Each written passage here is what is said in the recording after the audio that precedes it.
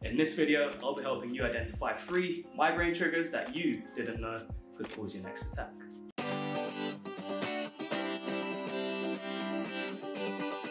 The Greek physician Hippocrates first wrote about migraine attacks around 400 BC. However, it's only recently that we have started to understand what they are. Whilst research doesn't tell us exactly why they happen, they're thought to be the result of temporary changes in the chemicals, nerves, and blood vessels in the brain. And you probably already know about the common triggers such as caffeine, poor sleep, change of weather, and so on and so forth. So I thought in this video, I'll give you something a little different with three triggers that you didn't know about. With trigger number one being cheese and red wine. Wait, wait, wait, don't be so hasty. That doesn't mean goodbye to wine and cheese parties, but it does mean using the power of the knowledge that I'm about to share with you. Cheese and red wine both contain a natural compound known as tyramine, which is known to be a migraine trigger that is found in protein containing foods. Tyramine falls under the umbrella of monoamines. And there's an enzyme in the body that breaks down and processes monoamines that is known as monoamine oxidase, otherwise known as MAO.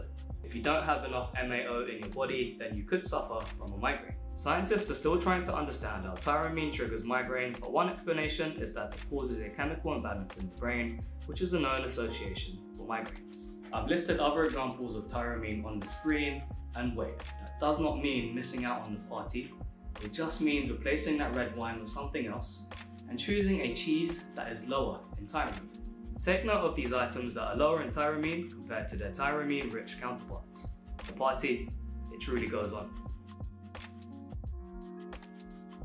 And moving on to trigger number two, we've got vertical stripes. No, really, just, just hear me out.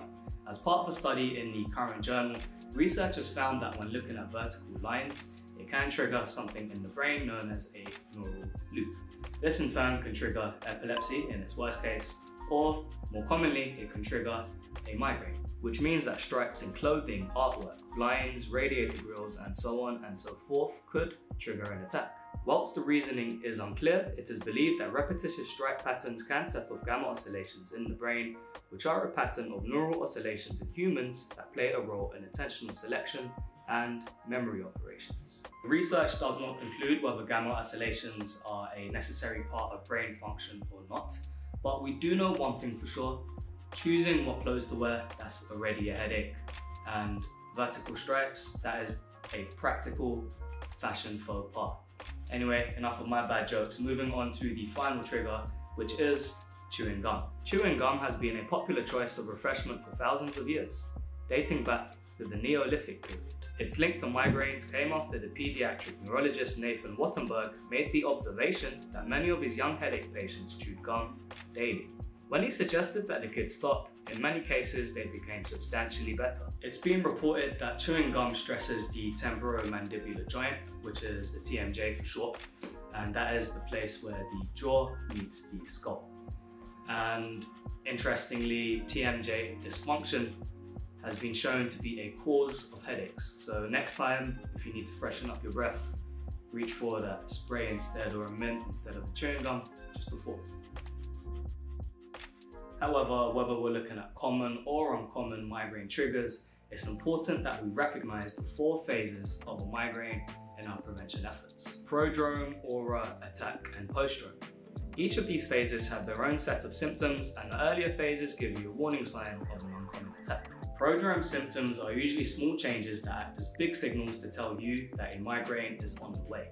The symptoms that you see on screen are the type of things that you should look out for, but bear in mind that not everyone experiences prodrome, or at least not in the same way, and these symptoms usually present themselves a day or two before an attack. I stress the importance of recognizing this phase. It leaves you with big clues that lead you towards understanding your triggers so you can stop an oncoming attack. The next phase of a migraine known as aura can occur either before or during the attack phase. Auras are characterized by temporary symptoms of the nervous system that are typically visual but can also be auditory or physical in nature. They usually build up over several minutes and last for up to an hour. The symptoms are on screen, and this is another phase worth noting down as it signals to you that it's time to take some medication. The next phase of a migraine is the attack phase, which is where the migraine kicks in. If left untreated, it can last anywhere in between 4 to 72 hours. The final phase is postdrome, This is where the symptoms of feeling drained, confused, or elated are common. This can last for up to a day. If you want to learn more about migraines, their triggers, and their treatments, then head over to Pharmica's Self-Centered blog, where you can find comprehensive articles such as our Ultimate Guide to Migraines, which I'll link in the description down below. And whilst you're there, sign up for an account so you can gain access to exclusive promotions and earn loyalty points to save money. I want to know, how do you cure your migraines? Let me know down in the comments below. Dropping a comment won't only answer my question, but it will be a place where everyone can go to and it might help out a ton of people. So let's help each other. Speaking of helping each other, check out the video on the right so you can save some money on your healthcare needs.